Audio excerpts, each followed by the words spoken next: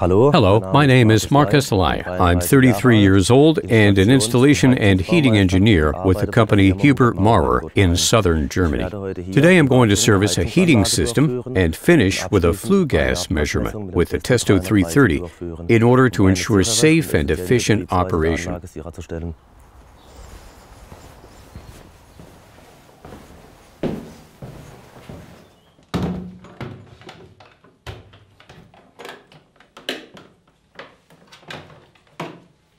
First of all, I attach the Testo 330LL securely and easily to the boiler using the magnets on the rear.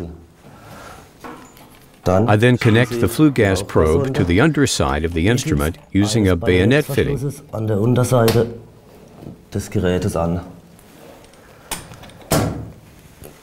The instrument is switched on, and the zeroing, or calibration, begins.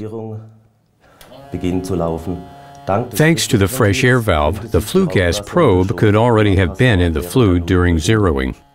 I remove the boiler cover in order to be able to measure the gas flow pressure with the Testo 510. To do this, I first close off the gas cock. I then unscrew the measurement connection and connect the silicone hose of the instrument to the measurement connection. Thanks to the magnets on the rear, I can attach the instrument directly to the boiler. The instrument is now switched on and the gas cock open. I'm now going to start up the system so I can measure the gas flow pressure.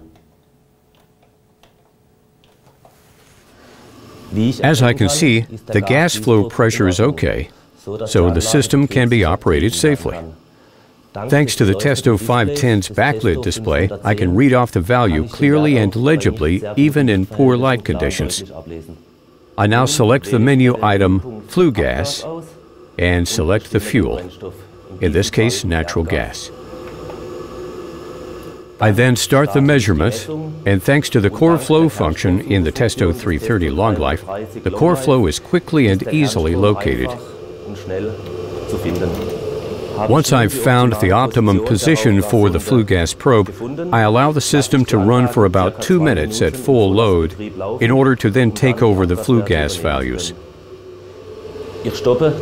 I now stop the measurement. I can now read off the following values. The CO2 value is in the optimum range. The CO value is 0 ppm, which is excellent.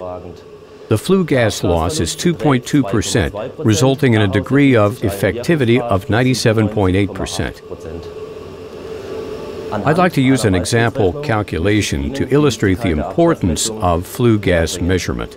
Let's assume your heating costs are 3,000 euro a year. If the degree of effectivity deteriorates by 3% because of a lack of maintenance, that would cost you an additional 90 euro annually. In order to document the measurement values, I print them out using the wireless infrared printer.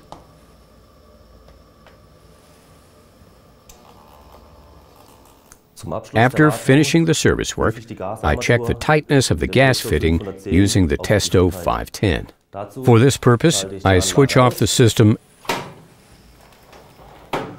and close the gas cock. The gas connection pressure should now remain constant and should not drop at all. Servicing is now finished. Thanks to the new Testo 330 Long Life, I've been able to record all the most important parameters. This guarantees secure and efficient operation of the system. The big advantage for me are the long life sensors, which are largely maintenance free and are protected from too high CO concentrations by fresh air dilution. That saves me a lot of time and money.